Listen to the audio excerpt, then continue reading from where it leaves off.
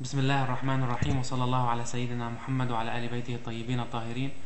اليوم موعظونا عن أنت الآن في عصر الظهور. طبعا آه، دايما الناس آه، بتحب الأشياء الغيبية. يعني مثلا شو بده يصير آه، بعد بكرة بعد سنة بعد سنتين. وبالفترة الأخيرة كتير ناس انشهروا إنه بيقدروا يقروا الغيب وبيطلعوا على التلفزيونات ويقولوا لنا مثلا شو بده يصير السنة الجاية والكوارث اللي جاية والمصايب والشغال المنيحة يمكن كمان. والآن نحن اهتمامنا دائما بعالم الغيب اهتمام شديد لأنه خلينا نعرف شو بدنا نعمل يمكن أو شيء. بس ولكن إذا نحن أخذنا هذا الشيء من دراسة نفسية أول شيء بنلاقي إنه الاهتمام بعالم الغيب هو هو شيء موجود فينا من ضعف. يعني ببين ضعفنا لأن مثلا قدرتنا مثلا من الناحية العلمية فرضا إذا بدنا نجيب آلة تعرف إمتى الزلزال بده يصير؟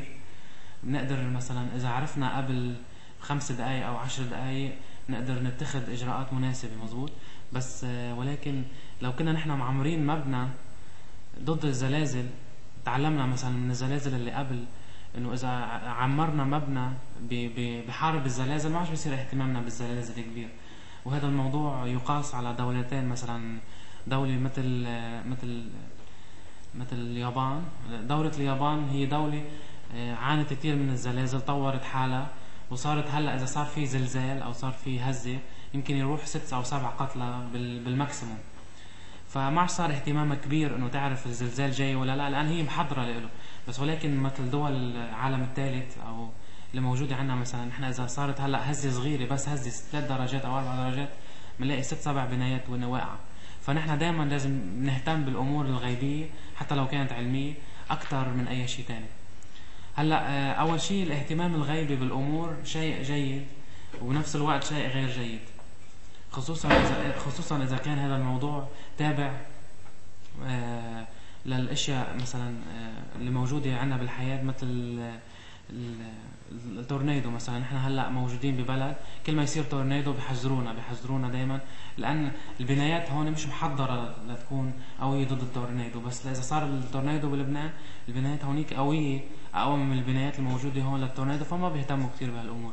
يعني كل. كل بلد بيهتم بأمور اللي هي بتعنيه من هذا الموضوع.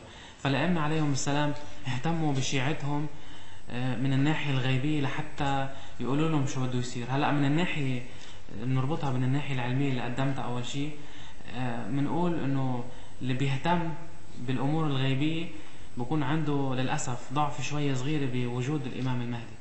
للأسف يعني. آه، لأن نحن إذا عرفنا مثلا الإمام المهدي على بكرة حيظهر أو بعد بكرة أو بعد سنتين أو بعد خمس سنين أو بعد عشر سنين ونحن مؤمنين جدا ونحن بنعرف شو عم بيصير حوالينا ودائما محضرين حالنا محضرين أولادنا. ما عادش بهمنا الأمور الغيبيه شو بيصير.